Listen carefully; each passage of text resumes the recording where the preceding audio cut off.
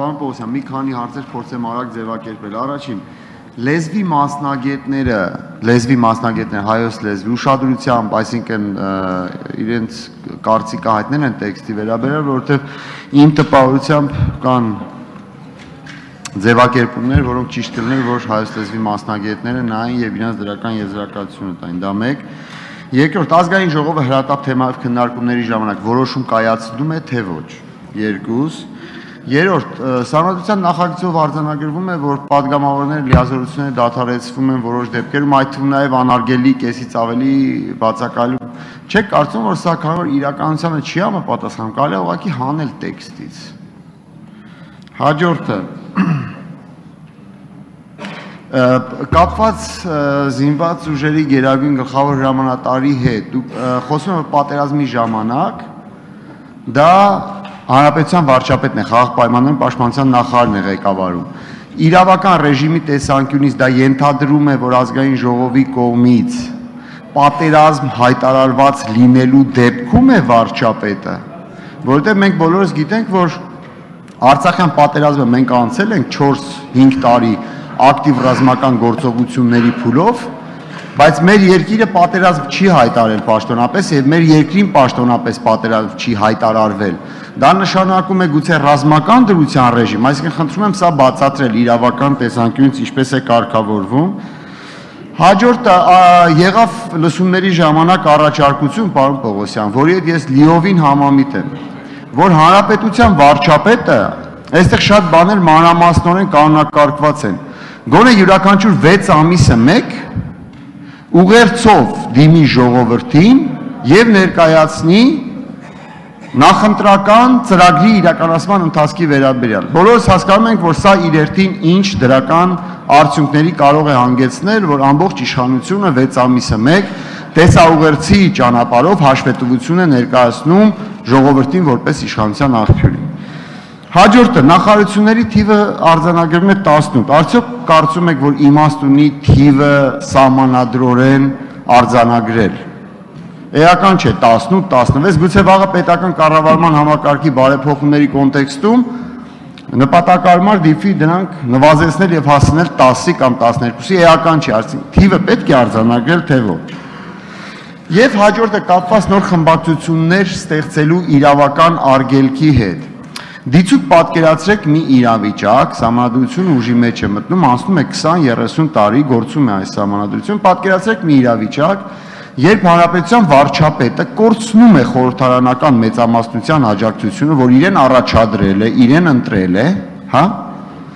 Եվ տվյալ իրավիճակում խորհրդարանական մեծամասնությունը այլևս չի աջակցում այդ լավ, սա արձագանքի ժամանակ այս Շնորհակալություն պարոն Ֆարմանյան հարցերի համար։ Լեզվի մասնագետները դեռ այս տեքստի վրա չեն աշխատել, բայց դա անպայման լինելու է։ Հրատապ թեմայով քննարկումների ժամանակ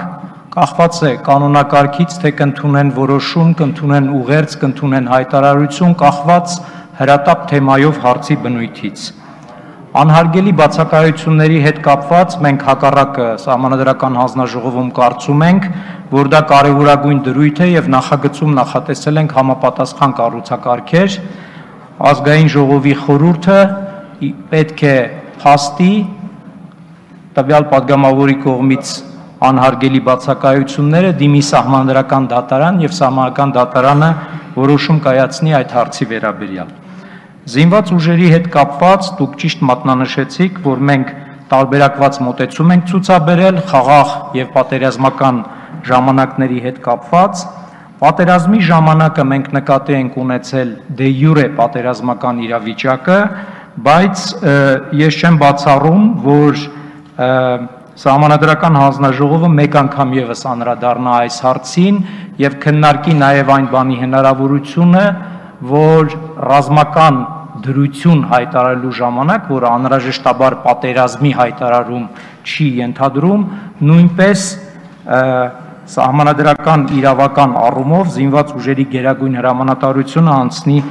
երկրի վարչապետին։ Մենք սահմանության նախագծի 155-րդ հոդվածով նախատեսել ենք կառավարության կողմից տարեկան զեկույց կառավարության ծրագրի իրականացման ընթացքի վերաբերյալ դա ինչ որ առումով կոմպենսացնում է ձեր առաջարկը, ի վերջո, եթե երկրի կառավարությունը վարչապետի գլխավորությամբ նման զեկույց է ներկայացնում ազգային ժողովում, ենթադրվում է, որ դա ամբողջ ժողովուրդն է դիտելու եւ հատուկ նման լիազորություն սահմանել սահմանադրությունում իմ կարծիքով դրա անհրաժեշտությունը չկա։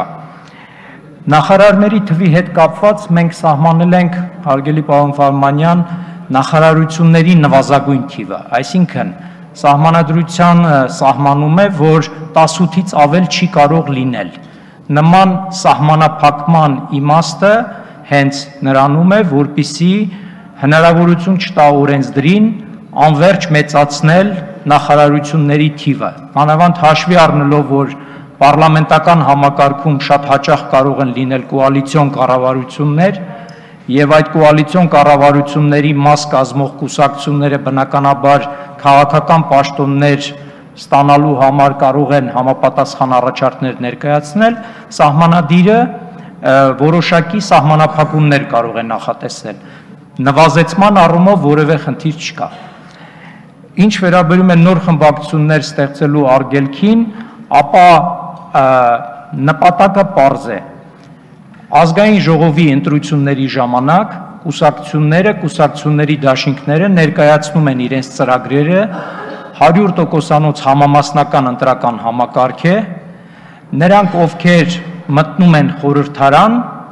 անմիջապես ձևավորում են իրենց խմբակցությունները եւ այդ խմբակցությունները ըստ էության ձևավորվում են ժողովրդի կամքով։ Այդ պատճառով էլ մենք կարծում ենք, որ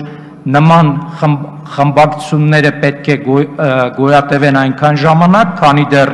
падգամավորները մնում են այդ խմբակցության մեջ, եթե առաջանում են հակասություններ խմբակցության մեջ, падգամավորները իրավունք ունեն դուրս գալ այդ խմբակցունից, բայց իրենք իրավունք չունեն ըստ նախագծի շրջանցելով ընտրողների ուղակի կամքը ընտրությունների ժամանակ ձևավորել նոր խմբակցություններ։ Արձագանքի համար Սամվել Ֆարմանյան Շնորհակալություն, պարոն Պողոսյան, ին վերջին հարցադրումը սկսեմ, ավելի ես հասկանում եմ տրամաբանությունը, խնդիրը այլ է։ Տեսականորեն հանրապետության վարչապետը կորցնում է խորհրդարանական մեծամասնության աջակցությունը, ձևավորվում է դե ֆակտո նոր մեծամասնություն, որը ձևավորում է նոր կառավարություն, ինչի թույլտվությունը կա։ Բայց հին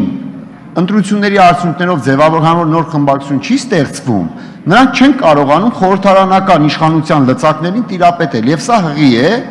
ներիշխանական հնարավոր քաոսով։ Ես այս դեպքի նկատի ունեմ կապված վարչապետի 6 ամսյա ուղերձների մասին ես ճիշտ ասած ճիշտ հակառակ կարծիքին եմ, որովհետև մեր խնդիրներից մեկը այն է, որ քաղաքական ուժերը ամբողջությամբ համակարգը բոլորն են դա ասում, կտրված է որոշակիորեն հետադարձ կապի ինստիտուտը չի գործում։ Եվ սա լավագույն միջոցն է հենց տեսաուղերձով դիմելով ժողովրդին հաշվետվողականության բարձրացման ազգային ժողովին տարեկան զեկույց ներկայացնելը մի բան է սեփական թիմակիցներին, որ իրեն ընտրել են, մի բան է ժողովրդին։ Եվ պատերազմի խաղաղության մասը շնորհակալություն դա շատ կարևոր եւ անհրաժեշտ բան է, որ պետք է մասնավոր Պարոն Ֆարմանյան, իսկապես կարող է նման իրավիճակ առաջանալ, եթե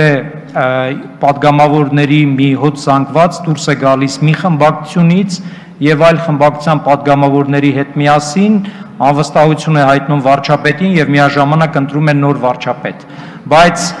մենք ցանկացել ենք հենց ընդգծել տարբերությունը այն կառավարության միջև, որը ձևավորվում է ուղղակիորեն ժողովրդի կամքով, ընտրությունների արդյունքում, այն կառավարությունից, որը որ ձևավորվում է արդեն ազգային ժողովում այդ կայուն կայուն մեծամասնության խաթարման արդյունքով։ Իհարկե կարող են որոշակի անհարմարություններ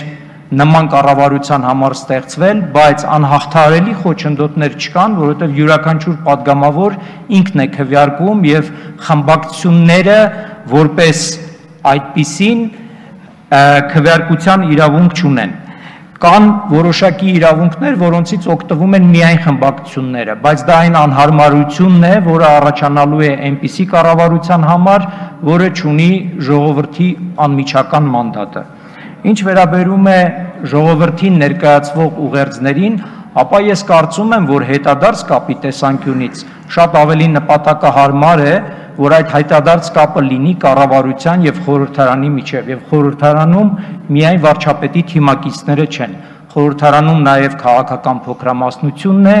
եւ կառավարությունը պատասխանելու է այն տհաճ հարցերին ենթադրաբար որոնք վերաբերելու են կառավարության ծրագրի իրականացման այն կետերին որտեղ որ կամ օբյեկտիվ կամ սուբյեկտիվ դժվարություններ կան որևէ բան առանց սահմանադրությունում ամրագրելու երբեք չի խանգարում ոչ վարչապետին, ոչ ցանկացած նախարարի դիմի ժողովրդին։ Եվ դա իրականացվում է ամեն տեղ երբ որ մամլո ասուլիսներ են տրվում, երբ որ հարցազրույցներ են տրվում, դրանով ուղղակիորեն դիմում են հանրային կարծիքին, բայց հանրային կարծիքը ուղղակիորեն ներգործելու հնարավորություն այդ զեկույցի հետ կապված չունի՝ ի տարբերություն ազգային ժողովի։